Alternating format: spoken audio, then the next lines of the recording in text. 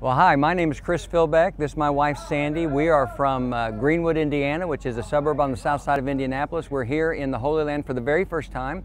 Uh, I've got about 60 people with me from my church, Mount Pleasant Christian Church in Greenwood, Indiana, and uh, we are having a tremendous time. I, I can't say enough good things about Imagine Tours and the way they have handled this entire experience from the, the, the months leading up to our trip to uh, what we're experiencing while we're here. They've just been great. We just got, got off a boat uh, on the Sea of Galilee. What a tremendous experience that was.